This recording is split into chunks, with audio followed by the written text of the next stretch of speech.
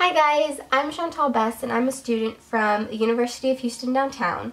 For my children's literature assignment, I chose the book Growing Frogs by Vivian French. I chose this book because I think it's a great nonfiction narrative that tells a story while also going into detail and explaining how the life cycle of a frog works. So let's get started. Growing Frogs by Vivian French.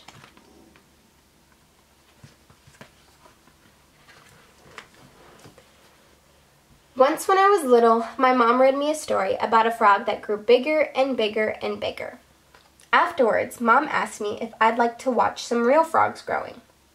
I know where there's a pond with lots of frog eggs in it. She said we could bring some home. I was frightened. I didn't want any frogs jumping around getting bigger and bigger and bigger, I said.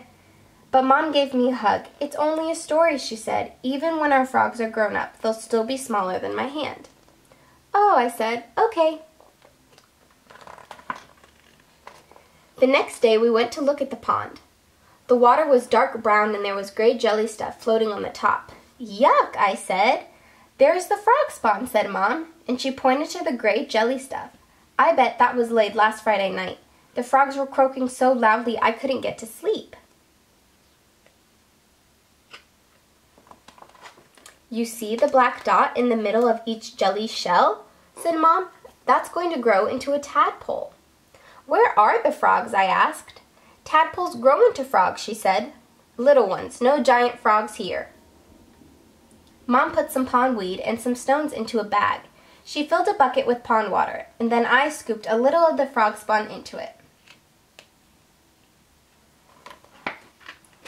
When we got home, we put everything into a big fish tank in the kitchen. The cat kept peering at it, so we had to put a wire net over the top. I counted 27 little black dots. Each dot was inside its own jelly shell.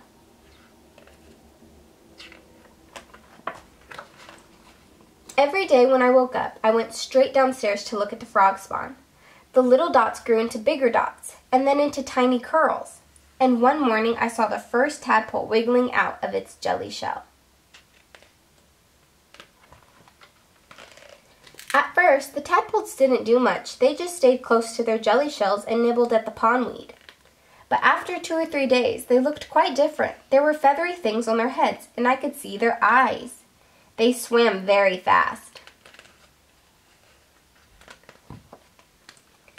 Ten of the eggs didn't even hatch. The black dots went dull and cloudy, and Mom took them away. Then we cleaned out the tank and put in fresh pondweed and pond water. One of the tadpoles swam into my hand when I was putting a stone back. It was slippery and slithery and made me jump. After a while, I got used to having tadpoles, and I didn't look at them so often. When Mom told me their little feathery things had disappeared, I didn't believe her. But it was true. I was the one who saw the next change, though. Look, I shouted, and Mom rushed to see. Some of the tadpoles had grown two little bumps. Mom said the bumps would grow into back legs. They grew very quickly. One day there was two little bumps. The next day the bumps were stumps. The day after that they looked almost like real legs. And when the feet unfolded, they were webbed like tiny brownish green fans. They aren't tadpoles anymore, I said. They're not quite frogs yet. The not quite frogs grew front legs next, and then their tails got shorter, and their mouths got wider. Now they're frogs, Mom said, baby ones. Soon the baby frogs were popping up and gulping at the surface of the water. One of them tried to climb into the stones, but it slid off.